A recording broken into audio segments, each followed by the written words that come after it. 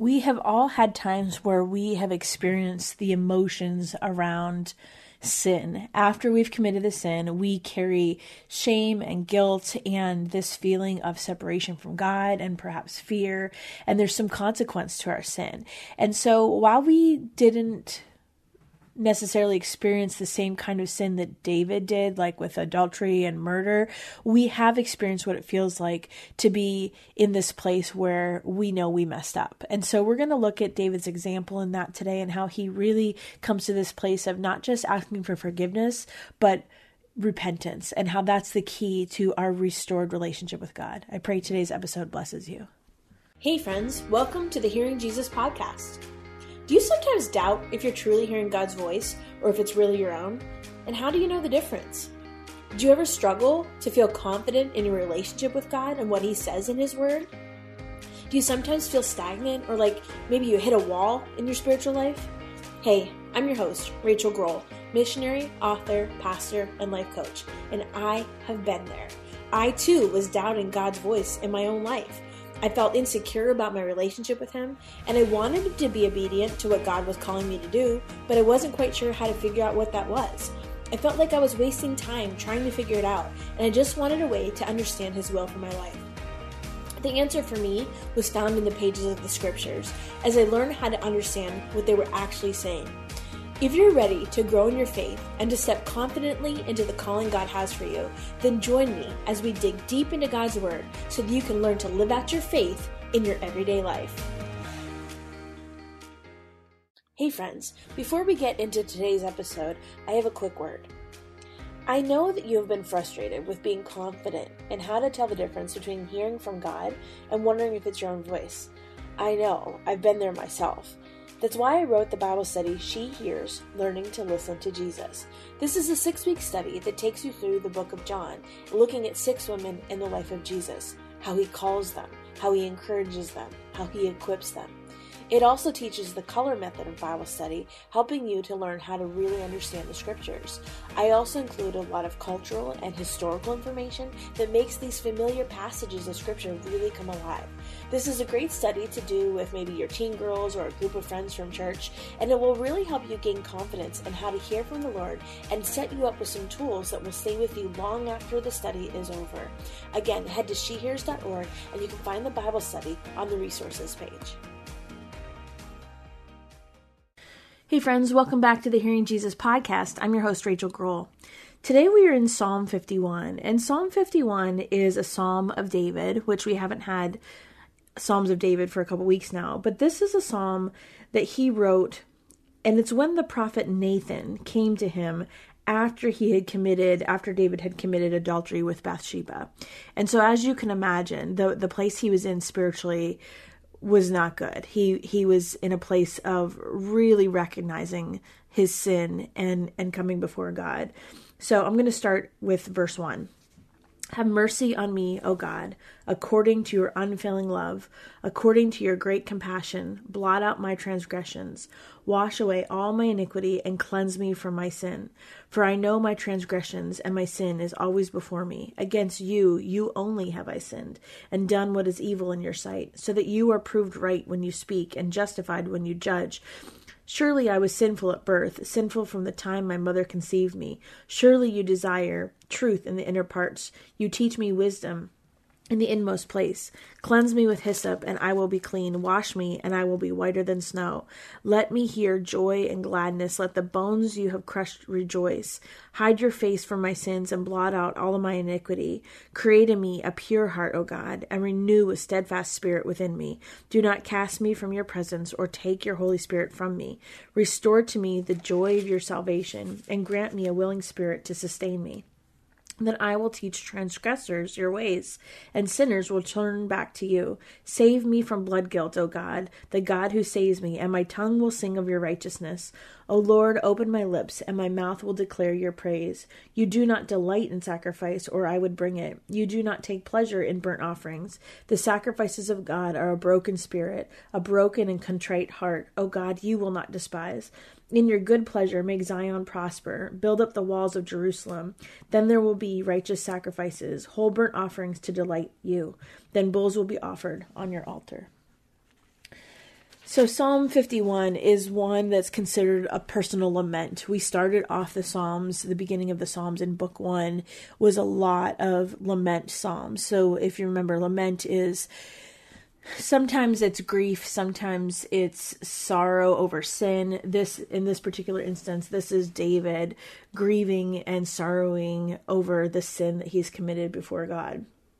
And while there are other psalms that do that, this one is kind of unique. In in fact, it's been called one of the pearls of the Psalter. The Psalter meaning that's how scholars refer to the Psalms. It, it is as it stands alone. The book of Psalms is called the Psalter. But anyway, it's called one of the pearls of the Psalter because there are seven psalms that are repentant like this, but this one demonstrates kind of this essence of true repentance, where it's not just a confession of sin, but it's really getting to this place we'll, we'll look at where David is saying, Okay, God, turn over every area of my heart and, and and create in me this clean heart because I just long to be right with you. And we can just hear David's repentance in this process this Psalm of David, it's it's a confession in a lot of ways, and he wrote it after Nathan, who was the prophet, confronted him about the sin of adultery and murder. So, if you are not familiar with that story, you can go back to 2 Samuel 12, uh, and it's like 1 through 13.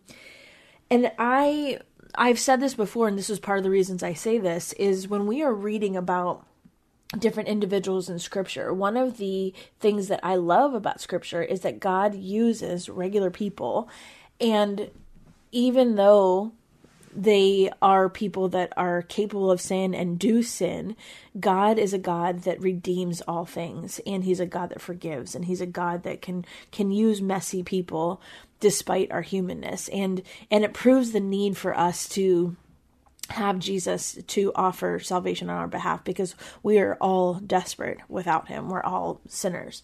And so, uh, but my point is that there are some parts of scripture that are prescriptive and there are some parts that are descriptive. And you have to kind of examine what's going on before you start emulating that person. And so if we are talking about God or Jesus or something that God is doing or the way somebody is serving in ministry, that's one thing. But when you look to somebody like David, we have to recognize he wasn't perfect. We have to recognize that he committed some atrocious sins in his life. And so it's not always prescriptive for us to act like David. Of course, you know, we can't justify something like adultery or murder because David did that. But yet, that's the same kind of attitude we take when it comes to maybe like testing God, like did Gideon did, or some people will even say things like, you know, having more than one spouse because of the patriarchs or, or whatever. Instead, what we have to understand that this is descriptive. It's describing the things that happen in David's life. It's not prescriptive, meaning it's not something that we should be doing ourselves. I just want to put that reminder out there. So this psalm was written by someone who knew God. Think about this. He knew God, but he had deliberately defied God in a serious, serious way. And the result of that was that he felt cut off from God's presence. See, that's what sin does. And yesterday we talked a little bit about hypocrisy and the dangers of getting into the routine of faith and the routine of Christianity and leaving the, the relationship aspect out of it. Because what I said yesterday was, is this path towards hypocrisy is sometimes a slippery slope. Here we have David, somebody who loved the Lord. We've seen that evidenced over and over throughout the Psalms. He loved the Lord, yet even David who has been described as a man after God's own heart. Even David messed up, messed up really bad. I mean, adultery and murder are some of the biggest sins you, you can commit. And so the result of that is David felt separated from God. That's what sin does to us. It separates us from God's presence. And so David probably wrote this psalm after he had repented and Nathan had confirmed God's forgiveness to him. Yet David is still pleading. That's what we see here. We see him pleading for his relationship with God to be restored. Um, I think that's important because David knows what a relationship with God can be like. So not as this this isn't just somebody that, you know, messed up and now they feel guilty and there's this shame and they're coming to God to seek forgiveness because they feel the weight of that. This instead is somebody that had a close relationship with God, that that spoke to God, that heard God's voice, that acted on God's behalf. And then he committed these huge sins.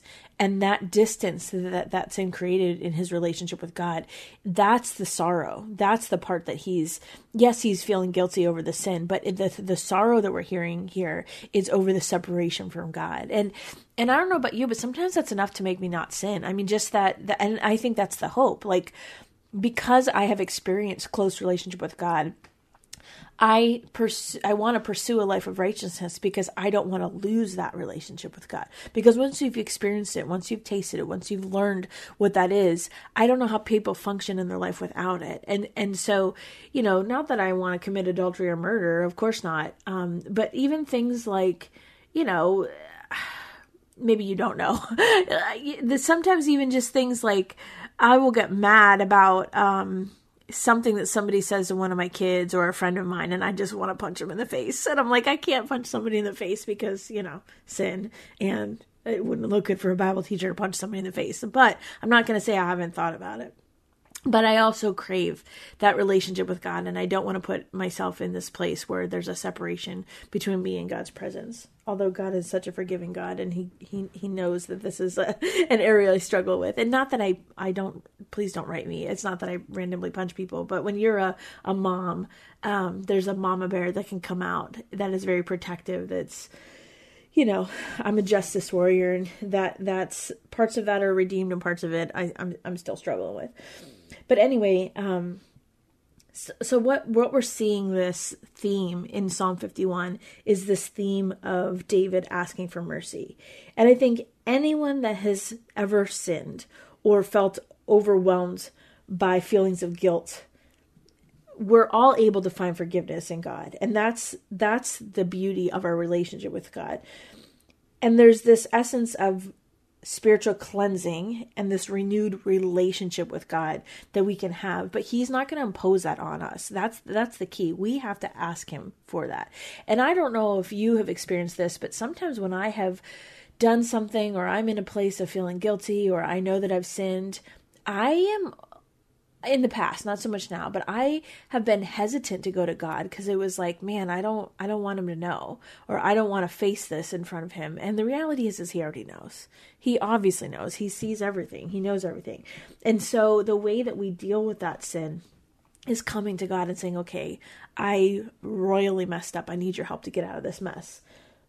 And so what this psalm shows us is that there is mercy that we can find in our relationship with God. And so David starts to request forgiveness and the spiritual renewal that happens is based on God's grace. And remember, grace is defined as as um, like favor that's undeserved. It's it's not anything that we deserve. It's only found as this free gift in a relationship with God. And he finds, of course, mercy and this unfailing love that God offers us for believers, the death of Jesus for our sins is what provides forgiveness when we humble ourselves and we come to Him and we ask for forgiveness. We have to confess our sin and we have to then, it's not enough to just confess our sin, but then we have to trust God and depend on him and ask him to help change the sinful behavior because that's where repentance is if i ask for forgiveness and then i just keep doing the same thing over and over and over um, there I, I firmly believe that sometimes there's a difference between one sin and a habit of sin and I mean, don't get me wrong, they both separate us from God. But sometimes we mess up. We're humans. It's just, it's, you know, part of this human experience. But sometimes there are habitual sins that we do over and over and over and over again. And it's not enough to just ask God to forgive us, but it's it's that next step. Repentance means turning away from your sin. So in essence it's saying, "Okay, God, I'm going to surrender this thing to you. Help me. Help me with this mess I've made of my life. Help me to turn away from this and and the, the beauty about our relationship with God is that He has the power to do that. He's longing to do that in our lives.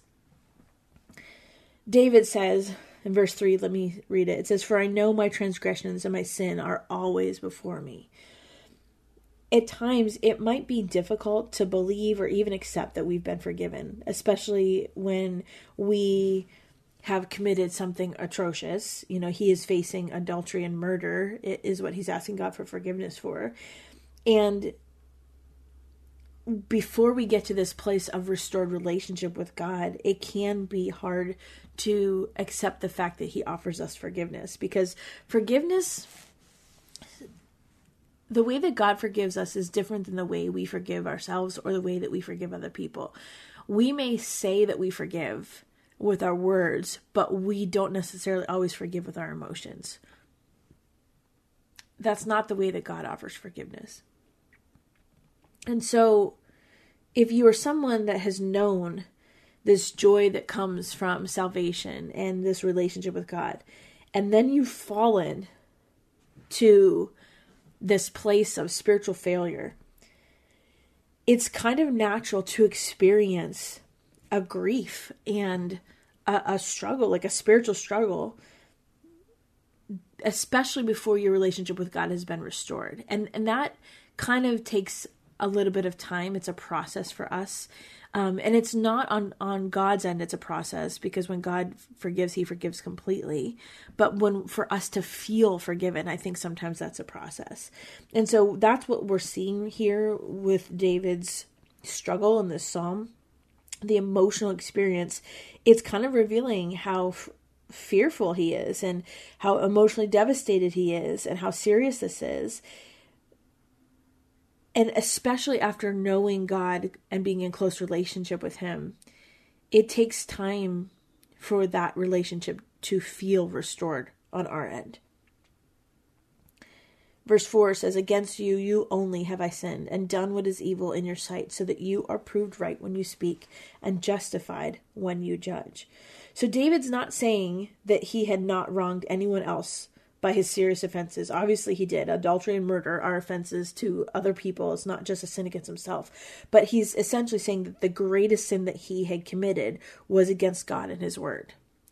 And as serious as the sins of adultery and murder are, this David is feeling and recognizing that the sin against God was worse. That that's the place that he's in. That's the emotional place that he's in at this point. And then in verse 5, surely I was sinful at birth, sinful from the time my mother conceived me. We see David acknowledging that he was born, that we're all born with this natural pull towards rebellion against God. I mean, it's not like you have to teach kids how to be bad. like, you know, it's just they do it on their own. you know, they're um when we're little, when we're babies, you don't have to teach us to sin. I mean, it's just kind of the natural. It's and that's what Scripture says. It's the natural bend or the natural pull of our hearts before we meet Christ and before we have this authentic relationship with Him. And you know, we see that. I, I've I was a I've been a children's pastor in my previous life. I was a children's pastor for a decade, and so I, I have yet to meet a kid that you have to teach them how to be bad. Um, if anything, it's the opposite, of course. And so that's but that's not even the excuse that David is is saying at this point. He is taking full responsibility for his own mistakes and failures. And and realistically, ever since we see sin enter the world, um, back in Genesis three, we recognize that every single person is born with this selfish desire to do your own thing and to go your own way and to be your own person and to satisfy your own pleasure. And sometimes even if it causes pain or suffering for other people because the pull is is to be selfish and to deal with our own desires before somebody else's desire. And so this this posture of sinfulness it, there's only one way to overcome that. And the only way to overcome that is by accepting god's forgiveness which is provided to us by jesus' death on the cross. And we have to rely on the power of the holy spirit to get through it, to, to not succumb to the, the sinful pressures of our heart. When we work through the Holy Spirit, He enables us to live a life of righteousness. And it's not that we're never going to mess up. It's not that we're never going to you know, have to come to this place of confession and surrender. But the whole point of having the, the gift of the Holy Spirit is that the scriptures say that He's our helper, He's our advocate. He empowers us to stand up against sin. We are powerless to do that on our own. It's only through the regeneration of our spirits and our hearts and our minds and our souls through the power of the Holy Spirit that we can resist those temptations. Verse 10 is a verse that is quoted a lot. And i and i wonder sometimes if people recognize the context in which it's written. It says create in me a pure heart o god and renew a steadfast spirit within me. That place that david's at is it's kind of the pinnacle of the psalm where he's saying okay god i know my heart's not pure. I'm asking you to create a pure heart in me. And to re- renew this steadfast spirit within me he's saying this in the context of immense sin He's saying this after he's messed up royally. And the encouragement I think that we can see there is that God is always waiting for us to come to him, to renew our hearts, to restore relationship. And so as followers of God, as Christians, as followers of Jesus, we need the gift of the Holy Spirit to purify our hearts. And and that's the change that brings us this openness towards God and it helps us to hate the things that God hates, which is sin, and and it helps us resist sin, and it gives us this um, desire to pursue kingdom living and God's standard for our lives and God's purpose for our lives. That's the fire that fuels those things, and so there will be at times. Um, a need to continually renew our spirits because we're human, because we live in a fallen, sinful world, because we are faced with temptations that are sometimes too hard for us to resist. Like that's part of the human experience, but that's why we need Jesus. And I think sometimes as believers, we get to a place where we feel so guilty for messing up that we don't even want to take that thing to God. But we spent a whole week on confession. If you haven't listened to it, you can go back to uh, earlier this year. We spent a whole week talking about confession and how the whole point of confession is to restore a relationship with God. But we can't get there if we don't confess to Him what's going on or confess to the other person that we sinned against and work through those things. God wants to meet us in that place. And I say that all the time that God meets us where we are. He knows that we're messy, He knows that we're sinful. He knows that we've messed up. That's why we needed Jesus in the first place. And that's why he sent the Holy Spirit to be our advocate, our helper, because he knows we can't do it on our own. Only the God who created us in the first place can recreate us from the inside out and restore us to a right relationship with him. But but that's the beauty of our relationship with God because he is our creator. He's the one that can create a new heart in us. I love that aspect. In verse 11, he says, Do not cast from me, do not cast me from your presence, or take your Holy Spirit from me. David is recognizing, he knows that if God removes his power and the presence and he exposes sin and he gets to a place where he doesn't have God's empowerment, then the hope of renewing his relationship with God is gone. And of course God's not going to do that. But he's he's speaking from a place of fear. Remember sin separates us from God. And so when we're separated from God, we do have more fear. We do have more anxiety. We do have um, the burden of the emotional aspect that comes along with being separated from God. Verse 12, it says, Restore me to the joy of your salvation and grant me a willing spirit to sustain me. I love that verse because the Lord restored David's joy. But notice there's a couple things I want you to notice about David's life. Number one, scripture teaches us that we will reap what we sow. And that's we see that in the New Testament in Galatians 6 7. And basically, what that means is however we conduct our lives will have a direct impact on what happens to us. And and sometimes you'll hear this called uh, seed faith when it comes to planting seeds, and and uh, even from an evangelistic perspective, sometimes we we'll plant seeds and somebody else another believer you know we'll plant seeds meaning we'll share the gospel with somebody. And then another be- believer will come along and share a testimony. And maybe another believer comes along and and is able to pray with somebody to come to faith in Christ. That's kind of this idea of seed faith but in this kind of same wheelhouse is this idea of you reap what you sow. Sowing meaning not like sowing with a needle, but sowing like in the ground. You sow seeds. You're, it's it's basically saying you're planting seeds. Well, when you reap what you sow, that means whatever you plant is what's going to grow. Whatever you plant in your life is what's going to grow. If you are planting kindness and gentleness and compassion, that's what's going to grow what you feed grows, what you plant grows. And so it's the same thing in our spiritual lives. And we see that in David's life. As a result of David's sin,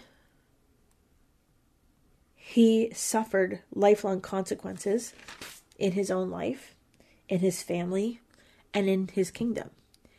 And so while we serve a God who is a forgiving God that restores things, there are still consequences. There are still consequences of sin. For something like adultery or something like murder, I mean, those are big sins. Obviously, there's consequences, but even in the small sin, there's consequences. There's consequences in our relationships. There's consequences even in our mental health or our emotional health. There's consequences in sometimes, you know, you could get fired from a job or a spouse would leave you or any of those kinds of things. There, even with adultery, in a modern day context, if there are children involved, then that might mean uh, custody issues and mediation and, and therapy for the kids or whatever it is. There's consequences to our sin. It's not like you know once we have that forgiveness from God that it's a there's a magic button and it all is erased. Absolutely not. That person that David killed, that guy, he's still he was still dead. And and that is something that David had to deal with for the rest of his life. Now he might have had a restored relationship with God, but there's still this other side of the consequence of his sin. The second aspect is that these consequences that David experienced help us to understand that there should be this amount of holy fear that keeps us from turning away from God in the first place. And recognizing that the mercy that we have from Jesus is already ours. And and there's always a way out. David did not have to commit adultery. David did not have to commit murder. God always provides us a way out. Sometimes we we don't see the way out because we're not recognizing the way out. We want to fulfill our own selfish desires instead of saying, "Okay, God, I need you to provide a way out for me." And I will tell you, there was a time in my life where um, I had, people. for those of you that know uh, some of my background, I had been um, in an abusive relationship when I was really, really young, 19 years old. And I knew that the situation I was in was not good. But Christians don't get divorced. I mean, that was the mentality that I had been taught my whole life since I had gotten saved that Christians don't get divorced. And so, even though it was an abusive situation, I couldn't leave because Christians don't get divorced. And I remember just praying, Lord, I don't know how to get out of this mess. And there was a song, I don't remember who it was by, but there was a verse in the song that went, Lord, please take from me my life when I don't have the strength to give it away to you. And I remember l- listening to that every night before bed, and just that was the prayer of my heart Lord, I made a mess of things because here's the thing I knew that that guy that I married was not a believer. He said he was a believer, but he was not a believer. He might have said it was he was one of those ones that we t- like what we talked about yesterday. The actions and the words didn't match up. But, you know, we want to do what we want to do. And so I had made a mess of my life and I I knew that I couldn't get out of it on my own. And yet I could see God's hand on me through the situations and the circumstances. And there's been a lot that has happened in my life since then um, God has redeemed and restored areas of my life, and I'm I'm remarried now to a, an amazing man of God. But there was a lot of consequence in the midst of that. There was a lot of heartache in the midst of that. There was a lot of brokenness in the midst of that. And yes, my relationship with God was restored, but there's still consequences to that. So it's not like when we go through something difficult, we come to God and then everything's better. That's not the human existence. But what I can recognize and what we see in David's life is that this place of holy fear it it should be enough to keep us where we're supposed to be. I I have a drastically different relationship with God now than I did when I was a 19-year-old kid. So and because I know now what some of the consequences are of being disobedient to God's voice in my life. I live my life in a drastically different way. And I can guarantee you that David did not forget that lesson. That was a lifelong lesson that, that he had. I can guarantee that he did not forget that. And then lastly, I want to talk about uh, verse 17. It says, The sacrifices of God are a broken spirit, a broken and contrite heart. O God, you will not despise. People make personal sacrifices, sometimes for good reasons and sometimes for bad reasons. So that's why God is not really impressed by what we can do for Him. What God really cares about is for people to recognize their helplessness without Him and to surrender their situations to Him. He's not going to turn away a broken and humble heart that is full of grief and regret over sin. And so when people put aside their selfishness and their pride and they cry out to God for forgiveness, they can be sure that God will accept them. And that's what we see in David. That's what I've experienced in my own life. We see that throughout the scriptures. We see it in Isaiah 57. We see it in Luke 18. We see it throughout the relationships that Jesus has with all the different women that we, we talked about that in the She Hears Bible study. That's the beauty of our relationship with God. So I'm going to go ahead and read Psalm 51 again with that insight. Have mercy on me, O God, according to your unfailing love. According to your great compassion, blot out my transgressions. Wash away all my iniquity and cleanse me from sin. For I know my transgressions, and my sin is always before me. Against you, you only have I sinned, and done what is evil in your sight, so that you are proved right when you speak, and justified when you judge. Surely I was sinful at birth, sinful from the time my mother conceived me. Surely you desire truth in the inner parts. You teach me wisdom in the inmost place. Cleanse me with hyssop, and I will be clean. Wash me, and I will be whiter than snow. Let me hear joy and gladness. Let the bones you have crushed rejoice. Hide your face from my sins and blot out my iniquity. Create in me a pure heart, O God, renew a steadfast spirit within me. Do not cast me from your presence or take your Holy Spirit from me. Restore me to the joy of your salvation and grant me a willing spirit to sustain me. Then I will teach transgressors your ways, and sinners will turn back to you. Save me from blood guilt, O God, the God who saves me, and my tongue will sing of your righteousness. O Lord, open my lips, and my mouth will declare your praise. You do not delight in sacrifice, or I would bring it. You do not take pleasure in burnt offerings. The sacrifices of God are a broken spirit, a broken and contrite heart. O God, you will not despise. In your good pleasure, make Zion prosper. Build up the walls of Jerusalem. Then there will be a righteous sacrifices, whole burnt offerings to delight you. Then bulls will be offered on your altar. God, we thank you that we can come to you in the midst of our brokenness, in the midst of the mess of our lives. Lord, take from us our lives and we don't have the strength to give it away to you. We recognize that sometimes it's difficult to come to you in the midst of our mess, to even admit the mess that we've made of our lives. But Lord God, I pray that you would intervene on our behalf. I pray that you would help us to come to you in repentance and to not just confess this this sin of our lives but to ask you to create this clean heart within us god. Because more than anything we long to be in your presence to be in this right relationship with you. God i thank you for the example of david and the way that he continued to turn to you even when he had made a mess of his life. Lord help us to do the same. And lord help us to guard our hearts against even getting to that place in the first place. God i thank you for the way that you pursue us and you love us and you forgive us. In jesus name amen Hey guys, I want to tell you about a new resource that I just found that I'm really actually loving. It's called the Spiral Bible.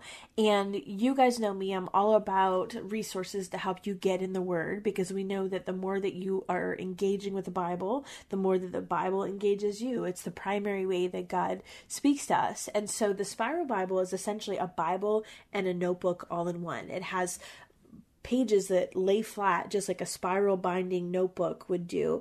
And it's really the Word of God for note takers. And so it's similar to some of the other resources we have, but it's much, much bigger.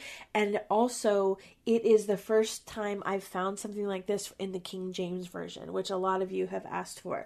And so you can underline, write, highlight, doodle, draw, journal, all the things. And it helps you get more out of God's word and dig deeper into the scriptures. You can concentrate while you're reading and focus on what God's saying to you. And then also you can take notes to help organize your thoughts while you're reading. It I find that that really helps increase your memory retention and it helps your comprehension of scripture, which is the whole point. It's the reason why we do everything at She Hears and through the Hearing Jesus podcast. So if you would like a copy of one, uh, I will put a link in the show notes today.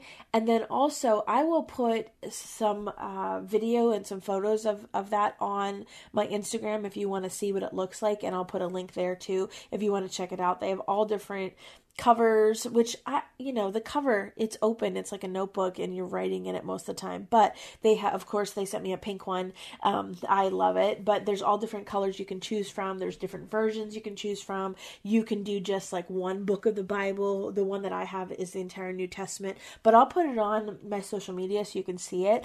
And again i think it's a great resource especially if you're somebody that has been looking for something like that in the king james version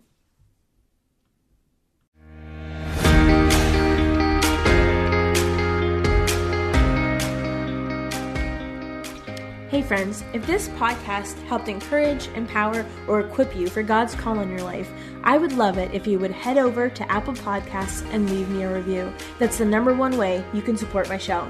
You can also join our free Facebook community or Instagram page where I share inspirational tips, resources, and prayer throughout the week. Hey, I want you to know I'm praying for you this week. Know that you are loved, you are cherished, and you are His.